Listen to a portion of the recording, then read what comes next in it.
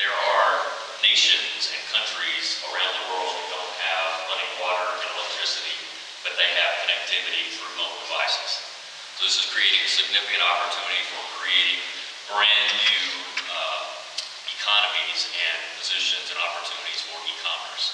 And that's really going to be the backbone for some of the conversation that we're going to have today.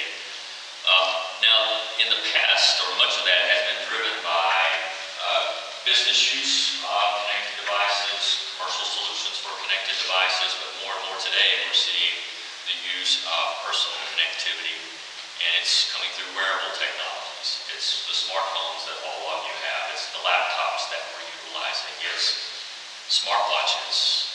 Uh, I see a day in the future where we talk about the use of these technologies where we'll go beyond the use of electronic logging devices for managing compliance for drivers. Drivers will have a wearable technology that if they are a regulated employee, they'll utilize some platform like a ring potentially that monitors what they were doing off duty and did they really receive the amount of sleep that was necessary for them to come in and to operate for 10 hours.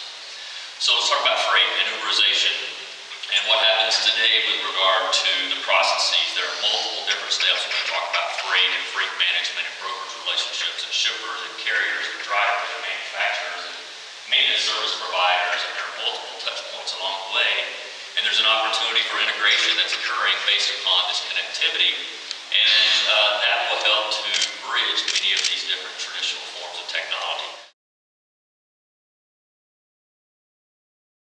This isn't about waiting for some gigantic new product. This is just looking at the way we do business right now. And when we're a buyer, are we, are our people sending out emails to our, our, our vendors that, that have to be responded to? How can we get more electronic?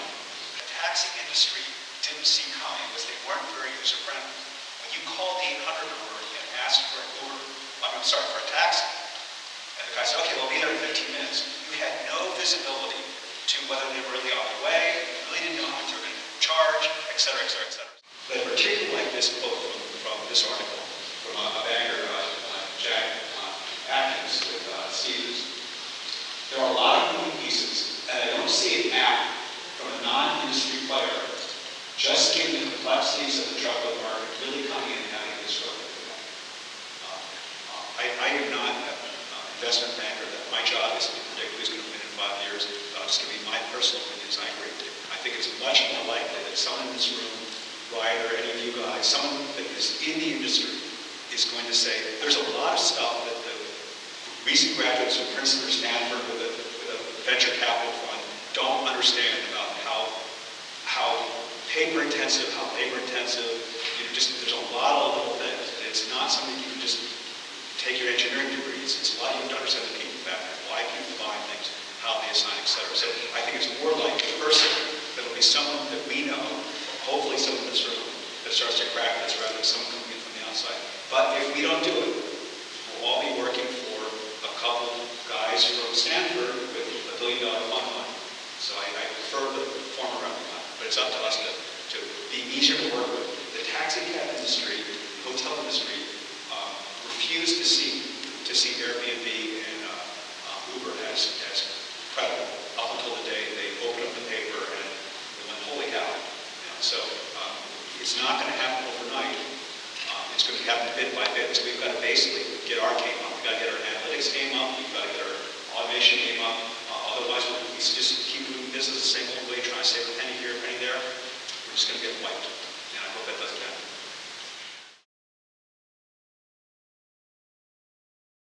It's really about a competitive position, and this isn't just a U.S. uh, economy solution or product or service solution. This is about competing on a global level, and there are global economies who are building greater and greater visibility and connectivity. And when we think about the manufacturers and shippers who are trying to compete and have visibility at a global level, be accountable at a global level, they're going to demand this as well for, for the U.S. So we can't just sit idly by and think, okay, it's not going to happen here. Global forces are going to move us there, and we need to be involved in that process. the taxi cab companies were the natural companies to create the whole disruption as, as, uh, as create, you know, some people want to get